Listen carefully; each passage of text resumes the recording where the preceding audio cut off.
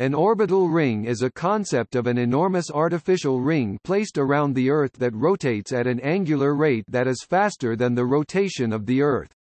It is a giant formation of astroengineering proportions. The structure is intended to be used as a space station or as a planetary vehicle for very high-speed transportation or space launch. The original orbital ring concept is related to the space fountain, space elevator and launch loop.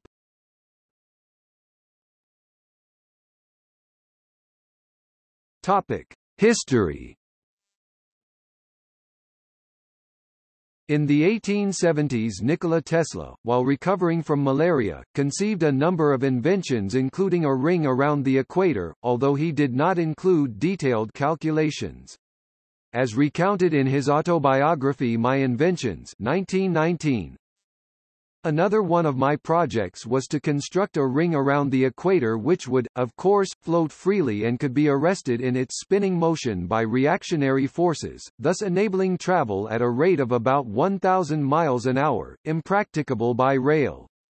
The reader will smile. The plan was difficult of execution, I will admit, but not nearly so bad as that of a well-known New York professor, who wanted to pump the air from the torrid to the temperate zones, entirely forgetful of the fact that the Lord had provided a gigantic machine for this very purpose. Arthur C. Clarke's novel The Fountains of Paradise 1979 is about space elevators, but an appendix mentions the idea of launching objects off the Earth using a structure based on mass drivers. The idea apparently did not work, but this inspired further research. Paul Birch published a series of three articles in the Journal of the British Interplanetary Society in 1982. Anatoly E. Yunitskiy, a Belarusian inventor, also published a similar idea in USSR in 1982 and later explored it in detail in his book published in 1995. Andrew Meulenberg and his students, from 2008 to 2011, presented and published a number of papers based on types and applications of low Earth orbital rings as man's stepping stones to space. An overview mentions four applications of orbital rings.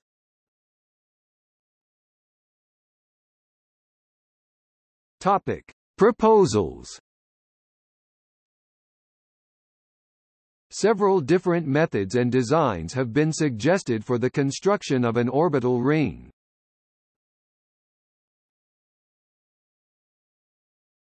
Topic: Birch's model. A simple unsupported hoop about a planet is unstable, it would crash into the Earth if left unattended.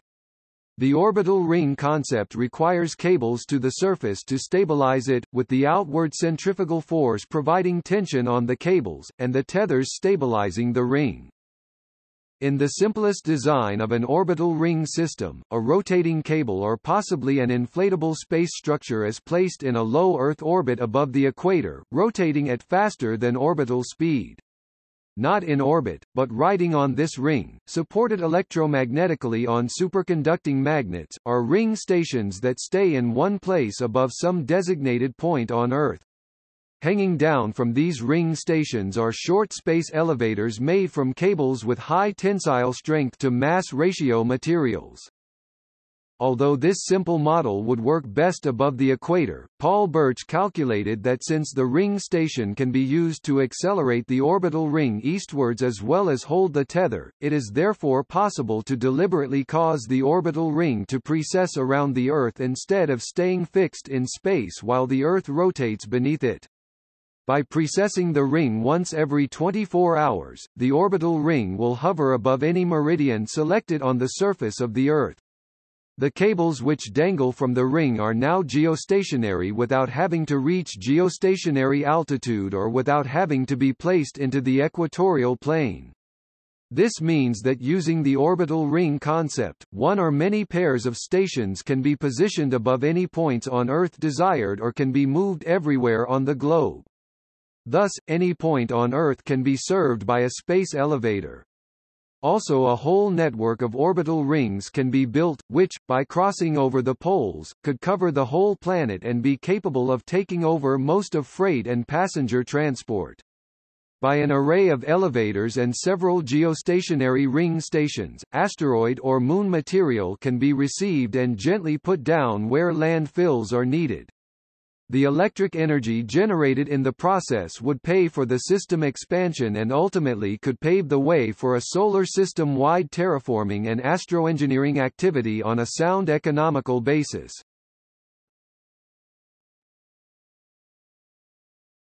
Topic: Estimated cost. If built by launching the necessary materials from Earth, the cost for the system estimated by Birch in 1980s money was around $31 billion for a bootstrap system intended to expand to 1,000 times its initial size over the following year, which would otherwise cost $31 trillion if launched using shuttle-derived hardware, whereas it could fall to $15 billion with space-based manufacturing, assuming a large orbital manufacturing facility is available to provide the initial 180,000 tons of steel, aluminium, and slag at a low cost, and even lower with orbital rings around the Moon. The system's cost per kilogram to place payloads in orbit would be around 5 cents.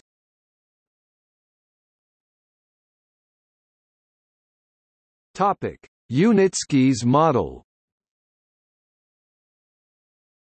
General Planetary Vehicle GPV, a Anatoly Yunitskiy's project for the removal of weight at low circumplanet orbit.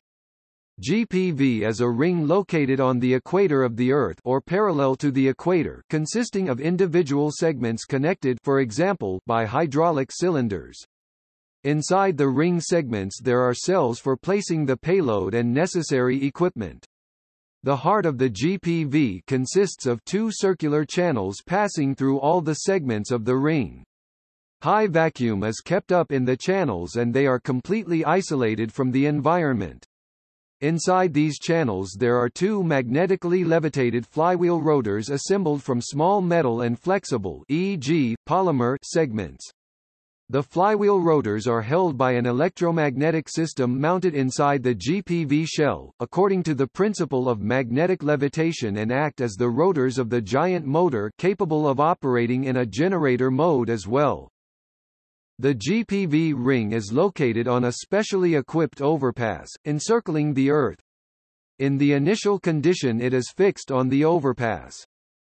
With the help of an external energy source one of the rotors spins up to speed higher than the first cosmic velocity at sea level i.e. orbital speed at sea level, same as the escape velocity divided by root 2. Due to the centrifugal force, the rotor having reached the first cosmic velocity balances itself and then seeks to fly up, producing lift force. The rotor's speed is to be a little more than necessary to balance the ring. After releasing the clamp the GPV ring begins to rise up increasing its radius, and accordingly, the diameter. Thus, the hydraulic cylinders and gaps between the segments allow the formation to increase its length. The belt rotor stretches by 2 to 5% due to its elasticity. Having achieved the required height the rotor transfers to the generator mode, and the electricity generated is used to boost the second rotor in the opposite direction. As a result, the GPV accelerates to achieve the first cosmic velocity on a low Earth orbit. The height reached by the GPV is determined by the abundant rotor's initial kinetic energy and the capability of its body structure and rotors to stretch. On the equatorial orbit the GPV is unloaded into stationary orbit cells located at the same orbital altitude in the plane of the equator. Landing is carried out similarly in the reverse order.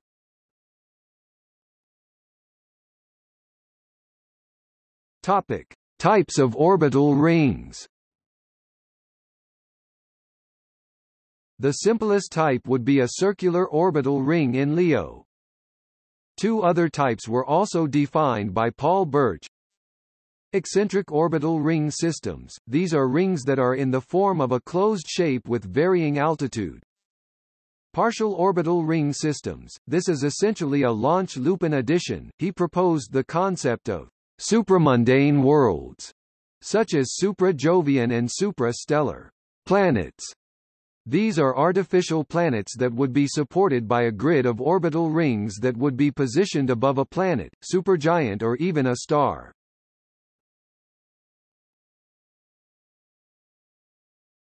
Topic: Orbital rings in fiction. The manga Battle Angel Alita prominently features a slightly deteriorated orbital ring. The second iteration of the anime series Tekkaman features a complete ring, though abandoned and in disrepair due to war, and without surface tethers. In the movie Starship Troopers, an orbital ring is shown encircling the Moon. The anime series Kiddy Grade also uses orbital rings as a launch and docking bay for spaceships. These rings are connected to large towers extending from the planet's surface. The anime Mobile Suit Gundam 00 also prominently features an orbital ring, which consists primarily of linked solar panels. The ring is connected to Earth via three space elevators. This ring effectively provides near unlimited power to Earth. Later in the series the ring also shows space stations mounted on its surface. Orbital rings are used extensively in the collaborative fiction worldbuilding website Orion's Arm. Arthur C. Clarke's 3001, The Final Odyssey features an orbital ring held aloft by four enormous inhabitable towers assumed successors to space elevators at the equator. In the close of Arthur C. Clarke's Fountains of Paradise, a reference is made to an orbital ring that is attached in the distant future to the space elevator that is the basis of the novel. The game 10-3 Terran Conflict features a free-floating orbital ring around the Earth, which is shattered by an explosion and subsequently deorbited in X3, Albion Prelude. In the Warhammer 40,000 universe, Mars has a large orbital ring called the Ring of Steel. It is primarily used as a shipyard for interstellar craft. It is the largest man-made structure in the galaxy. In the game Xenoblade Chronicles 2 there is a giant tree that has grown around the base of an orbital ring. The third part of Neal Stephenson's book Seveneves has an orbital ring around a moon-less Earth. The opening battle of Star Wars, The Clone Wars' Season 6 pilot takes place on some form of ring-shaped orbital space station surrounding the planet of Ringo Vinda.